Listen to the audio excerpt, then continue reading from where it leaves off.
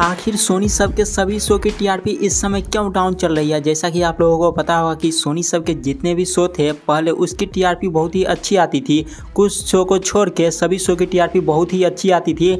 लेकिन इस समय अभी सोनी सब के लगभग सभी शो की टीआरपी बहुत ही ज़्यादा डाउन हो चुकी है।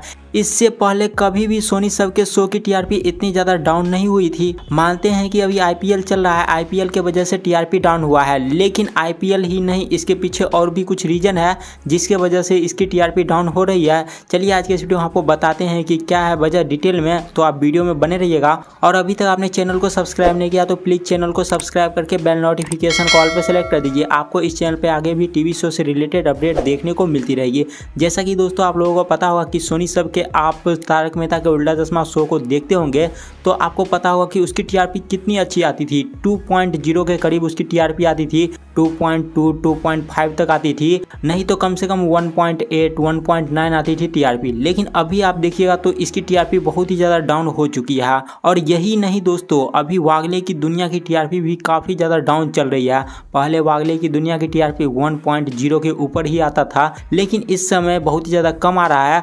वहीं पे पुष्पा इम्पॉसिबल की भी टीआरपी बहुत ही ज़्यादा डाउन हो चुकी है। यह शो भी आया था तो इसकी भी टीआरपी बहुत ही अच्छी आती थी। 1.0 के करीब आती थी टीआरपी और इसके अलावा सोनी सब के जितने भी शो हैं, उस सभी की टीआरपी डाउन हो चुकी है।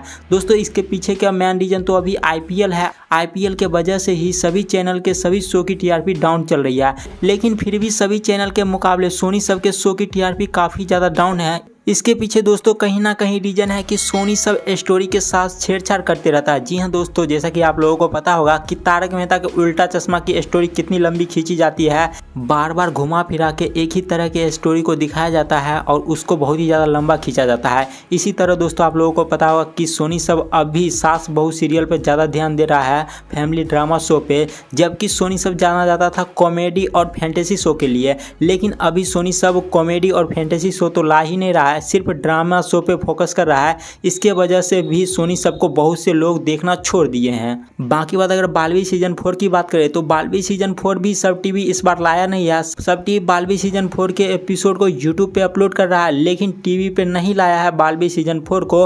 और बालवी सीज़न फोर का ऑफलाइन टीआरपी नहीं आएगा, इसका ऑनलाइन टीआरपी आएगा, जिसको कि सोनी लिव इस बार बालवी सीज़न फोर को लाया है। तो आप लोगों को क्या लगता है और भी क्या कोई वजह हो सकती है जिसके वजह से सोनी सब के सभी शो की टीआरपी इतनी ज़्यादा डाउन चल रही है? अपनी राय कमेंट सेक्शन में बताइएगा। और साथ ही चैनल को भी सब्सक्राइब कर लीजिएगा। मिलते हैं जल्द ही आपसे एक और नए वीडियो के साथ। जय हिंद।